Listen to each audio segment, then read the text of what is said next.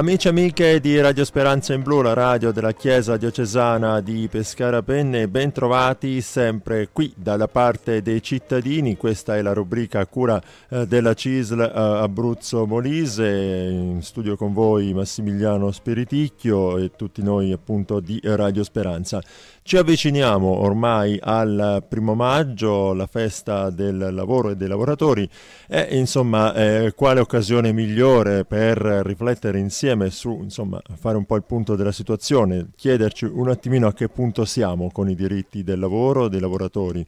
e lo facciamo insieme a eh, Giovanni Nodaro che è il segretario generale del CISL Abruzzo Molise che è collegato con noi. Benvenuto. Saluto tutti i radioascoltatori di Radio Speranza. Ecco, eh, in quale Abruzzo dal punto di vista lavorativo e dei diritti dei lavoratori arriva questo primo maggio? Beh, il primo maggio anche quest'anno cade in un periodo dove abbiamo ancora un po' di luce ed ombre. Intanto eh, rimane sempre il tema, pure se abbiamo degli indicatori che ci dicono che dal punto di vista occupazionale siamo un po' risaliti, ma non siamo ancora a quella occupazione di, di buona qualità, quindi c'è ancora molto precariato eh, che deve essere sicuramente strutturato. Poi continuiamo ad arrivarci come nel passato, anche abbiamo da poco registrato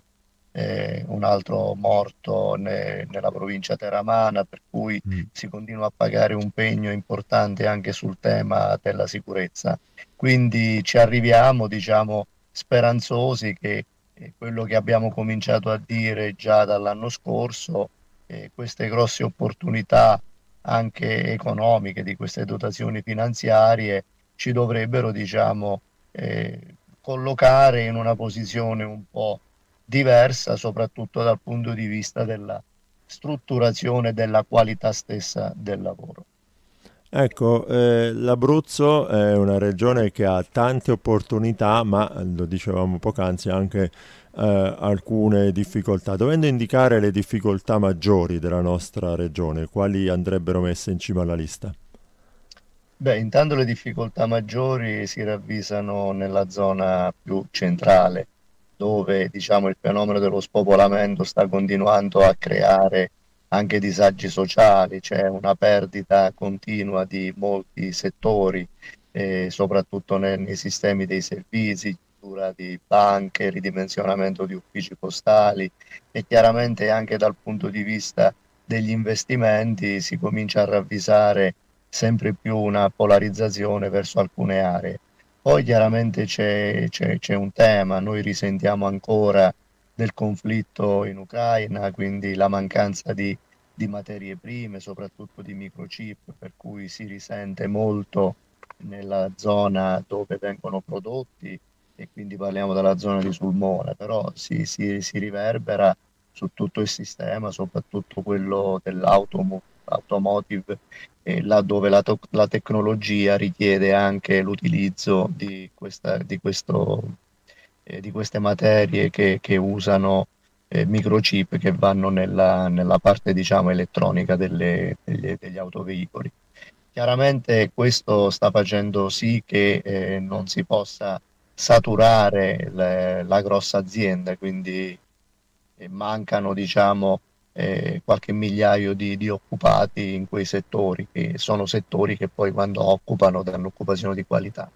Altro tema è quello di questa transizione eh, energetica che stiamo affrontando, dove noi abbiamo settori che hanno aziende energivore e paghiamo lo scotto della mancanza di politiche industriali del passato e di politiche energetiche, quindi in molti casi abbiamo un costo prodotto maggiore e il tema su cui ci dovremmo concentrare un po' più tutti e su questo noi incalziamo la politica è che poi la transizione anche quella che vedrà eh, verso il green anche l'automotive ci preoccupa perché noi abbiamo un indotto che ha una componentistica che se non ci sarà capacità di riconversione si potranno perdere alcune migliaia di lavoratori.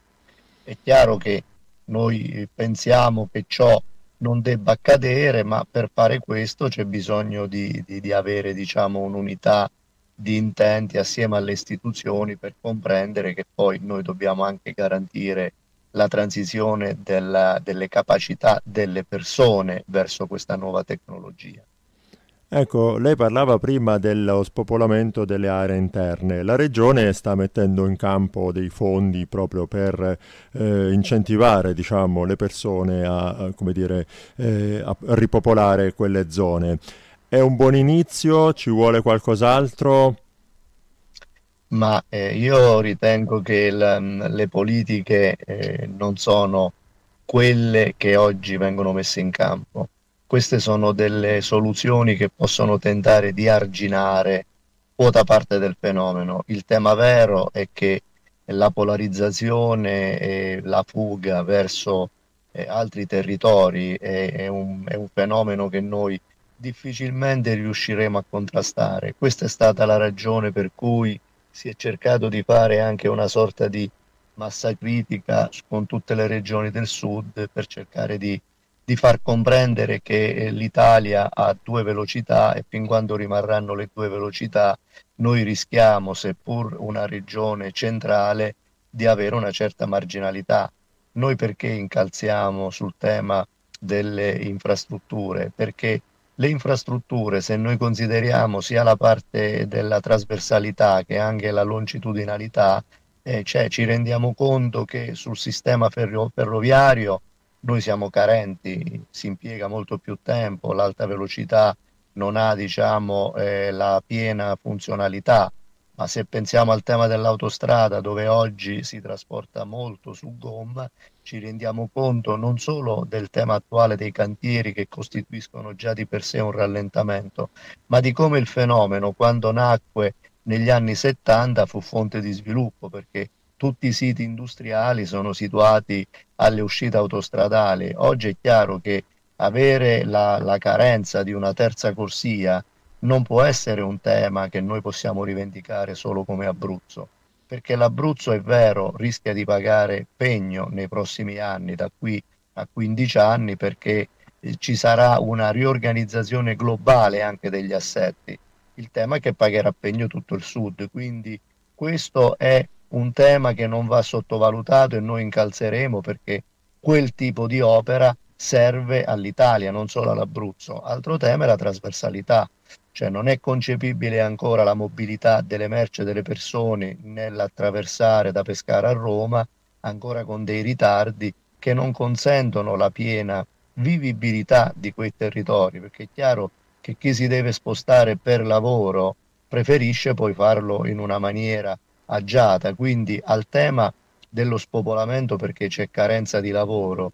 rischia di aggiungersi perché c'è già stato eh, sempre più anche il tema di chi eh, non si sposta, non fa più il pendolare perché rischia di diventare molto sconveniente. Quindi c'è questo tema che purtroppo eh, deve vedere impegnato e anche su questo noi ci battiamo a fare in modo che noi dobbiamo cercare di comprendere sempre più cosa dobbiamo formare nei nostri giovani. Dobbiamo avere un ragionamento aperto e questo purtroppo ancora manca con tutto il sistema per cercare di comprendere cosa dobbiamo costruire come professionalità e capacità nei nostri giovani per non farli fuggire altrove perché è chiaro che chi ha una professionalità e la può spendere a fronte anche di un guadagno importante difficilmente accetta per, anche per quanto si possa essere coraggiosi di rimanere. Poi è chiaro che non è poi tutto così nero,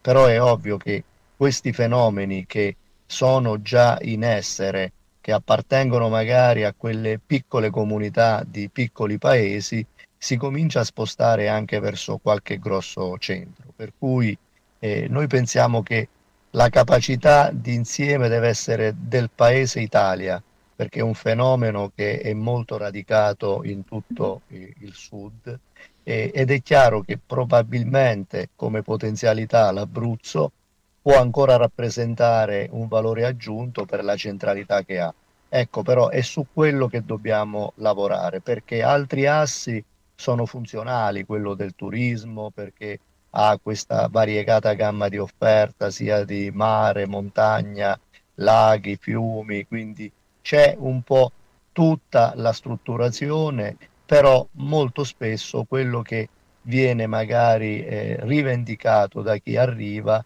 è che sì, può andare bene un turismo lento, però noi dobbiamo avere una capacità di mobilità delle persone che possa valorizzare tutte le nostre peculiarità. Ecco, eh, noi tra poco torneremo a parlare di questi temi e in particolare ci concentreremo poi su quelli che invece possono essere i punti di forza della nostra regione. Lo faremo tra poco, dopo la nostra pausa musicale.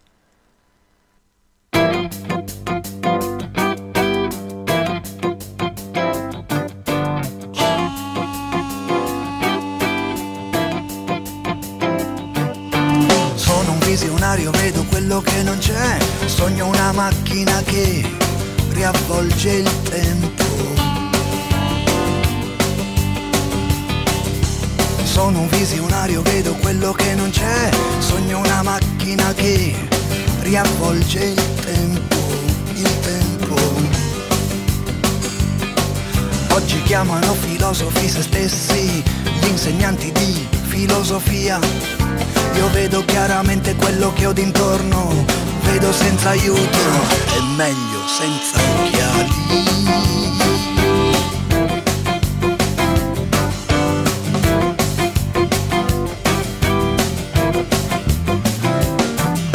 Guardate ragazzi il meridione della terra, l'Antartide che oggi ci sovrasta. Lo stomaco del mondo è capovolto, come un sacco ci sventolo sulla testa solo un visionario filosofo di bottega osserva e se ne frega in fondo perché vede soprattutto non ricorda vede soprattutto non ricorda. Io me li ricordo i fatti e le parole l'odore del desiderio delle belle da marito le corse in macchina per Genova di pietra. Il suono delle promesse la luce dentro gli occhi. Il suono delle promesse la luce dentro gli occhi quello che non ricordo non lo vedo, come non c'è confine fra i deserti. Nuoto dentro un lago di montagna e ascolto tutti come da una radio calma di onde d'acqua. Sono un visionario, vedo quello che non c'è, sogno una macchina che riavvolge il tempo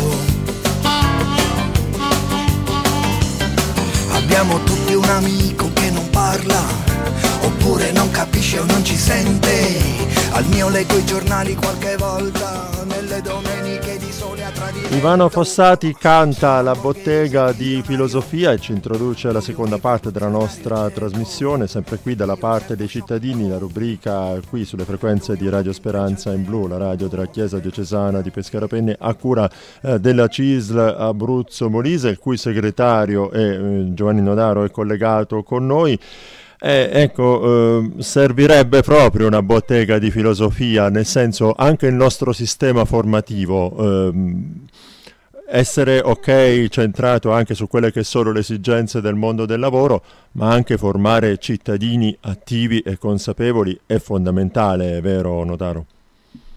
È chiaro che questo è fondamentale per tutto perché la, la formazione è alla base di tutto, non solo per quello che può riguardare la parte del lavoro, ma sappiamo che l'evoluzione della specie eh, si è basata molto sulla conoscenza delle persone, quindi rimane un fattore fondamentale. Noi questo cerchiamo di praticarlo ed è chiaro che quando noi vediamo che ci sono degli attacchi anche magari al sistema scolastico, quando vediamo che eh, si ragiona oggi mh, sugli ITS che sono necessari per quello che dicevo prima, per formare le generazioni future, però non c'è quella capacità di chi ha il dovere di mettere assieme, di fare proprio l'incrocio tra domanda e offerta, e offerta anche sulle competenze professionali, è chiaro che c'è qualche cosa che magari rischia di fare crash nel sistema e che non dà le, le dovute opportunità, quindi è chiaro che questo è importante.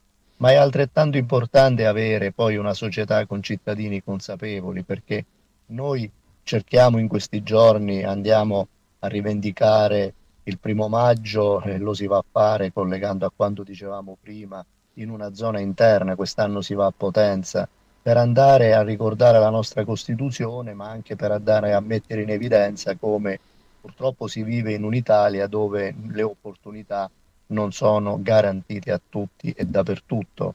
Serve anche una consapevolezza perché noi eh, fra poco partiremo anche con una campagna raccolta firme per una proposta di legge sulla partecipazione al mondo del lavoro, quindi rendere il lavoratore consapevole. Noi faremo delle mobilitazioni, andremo a Napoli il 20 a rivendicare per dire no ad alcune co- cose. E quello che noi dobbiamo cercare di auspicarci è che quando noi ragioniamo di tutela dei diritti eh, per quanto riguarda la perdita di salario dovuta all'inflazione e quando noi rivendichiamo il rinnovo dei contratti, cioè noi vorremmo, e questo è quello che ultimamente riscontriamo che manca dalla società. Probabilmente non riusciamo a far capire che quando si porta a casa un risultato che è un valore economico, cresce la ricchezza di un territorio, di un paese e se c'è più ricchezza c'è più capacità di spesa e quindi è un qualcosa che si rigenera e questo va anche contro quelle che sono le battaglie sociali che noi dobbiamo abbattere, il tema della povertà, il tema della precarizzazione, quando noi facciamo le battaglie e parliamo di riforma del fisco, è chiaro che dobbiamo sollecitare le coscienze, che non è una battaglia che riguarda un soggetto o alcuni soggetti, riguarda il sistema della società, perché il fisco deve essere equo e giusto, perché non si può da una, da una parte rivendicare un rinnovo contrattuale e poi vedere che il tutto viene vanificato da tassazioni locali, che sono esagerate da una tassazione nazionale che non prende in proporzione a quanto ognuno può dare. Quando si parla di lotta all'evasione è chiaro che bisogna far crescere attraverso la conoscenza, la competenza, la società, perché chi evade non aiuta la società e soprattutto se noi potremmo recuperare attraverso le istituzioni solo quello che si perde attraverso la lotta all'evasione, probabilmente potremmo dare più diritti. Cercare di capire che non si può vivere in una società. Abbiamo avuto una pandemia, abbiamo visto stressato il sistema della sanità e noi stiamo ancora a strillare che c'è necessità di personale medico che non si trova e laddove riescono a, fare i bandi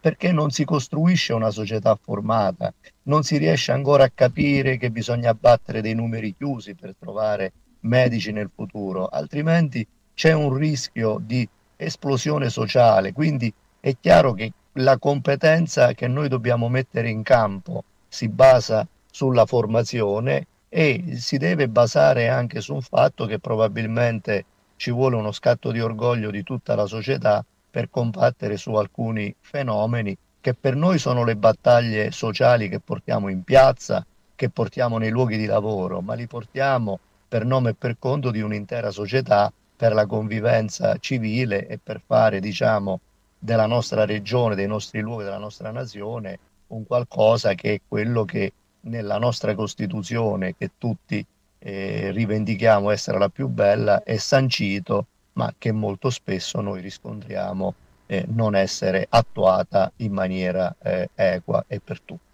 Ecco, eh, in, volendo invece elencare, prima abbiamo elencato, come dire, dei punti critici della nostra regione, invece due o tre punti di forza dell'Abruzzo? Ma intanto il primo punto di forza è uno, perché eh, prima io ho citato il tema della, eh, della carenza di infrastrutture. Allora sapere che siamo una delle regioni che dal punto di vista manifatturiero è tra le prime in Italia questo dimostra una grande capacità di chi ha fatto impresa eh, in questa regione e soprattutto anche delle maestranze che hanno garantito quella qualità di lavoro richiesta da queste imprese. La seconda è la straordinaria opportunità che può avere, oltre alla manifattura, il sistema, eh, quello turistico, che può essere un secondo volano di crescita, perché l'Abruzzo è, ha, ha tutto, ha mare, a montagne, a laghi, a luoghi particolari, ha una, una, una produzione che cresce sempre di più di prodotti gastronomici, enogastronomici di qualità, si sta affermando a livello nazionale, per cui è chiaro, noi spesso rappresentiamo più un'anima critica, ma non perché non ci sono delle opportunità, però queste opportunità dovrebbero essere diciamo, dei volani di crescita a cui si devono affiancare tante altre capacità che ci portano a farlo rivitalizzare eh, come noi vogliamo auspicare, quindi avere tutti i territori aperti per il turismo, ma tutti i territori pieni di persone che poi le persone e soprattutto i giovani che sono il nostro futuro e che è quel capitale umano, sociale indispensabile per garantire eh, anche una sorta di, di, di comunità eh, vitale che, che incrocia eh, la popolazione che è sempre più anziana in Abruzzo e che eh, se non creiamo quelle barriere che fanno rimanere qui i nostri giovani eh, rischia di diventare sempre più pericoloso. Quindi una grande manifattura che ha un primato, che occupa tantissimo di qualità su tanti settori, chimico, metalmeccanico, tessile, farmaceutico, eh, ci sono imprese di costruzione importanti, è chiaro che molto si è basato anche su un disastro come quello del terremoto, ma ha dato occupazione, ha dato anche qualità di lavoro e lì si è visto anche il contributo del sindacato perché noi in quelle zone dove si è sviluppato tantissimo lavoro, il rapporto che si è tenuto tra eh, il sindacato e le istituzioni ha fatto sì che non si, non si sono contati tanti, tanti infortuni e soprattutto mortali. Quindi c'è tanto su cui costruire perché non c'è da battersi, se i numeri ci dicono che le cose vanno meglio, noi abbiamo il dovere però di dire che eh, se noi vogliamo garantire il futuro a un giovane, sì il lavoro, ma il lavoro deve essere eh, stabile, ben retribuito, che dia soddisfazioni e che permetta anche al lavoratore di essere protagonista all'interno della sua azienda, ma magari di questo che riguarda eh, l'applicazione dell'articolo 46 della Costituzione sulla partecipazione anche del lavoratore alla vita dell'impresa e magari ne possiamo parlare in maniera più approfondita in un'altra puntata perché è un certo. tema a noi caro e su cui faremo una raccolta firme. Assolutamente un tema centralissimo, eh, davvero. E allora eh, buon primo maggio, buona festa del lavoro a Nota- Giovanni Notaro, eh, segretario della CISL Abruzzo Molise e a tutti i lavoratori abruzzesi e molisani, vero? A tutti i lavoratori eh, perché si è lavoratori sempre, anche quelle fasce di, di, persone che spesso non sono a libro paga ma che fanno in modo che mandano avanti le nostre famiglie, la nostra società e soprattutto a quei tanti lavoratori che hanno fatto grande la nostra nazione, che oggi si chiamano pensionati, che però mm. continuano a fare eh, il sistema di protezione sociale e di ammortizzatori per le famiglie, perché sono figure importanti quelle dei nonni che tanto hanno dato e che tanto continuano a dare ancora alla società e alle famiglie. E quindi quando si parla di festa del lavoro, eh, il lavoro non ha età, il lavoro è per tutte le età, noi siamo per quello ben retribuito, ma dobbiamo apprezzare anche quando nelle nostre famiglie ci sono questi lavoratori, questi angeli che con il proprio lavoro aiutano la famiglia ad andare avanti in un momento in cui per alcune famiglie è ancora complicato. Quindi buon primo maggio a tutti. Grazie e buon primo maggio anche a voi che ci seguite, da Massimiliano Spiriticchio e da tutti noi di Radio Speranza in Blu, la radio della Chiesa Diocesana di Pescarapenne. A risentirci.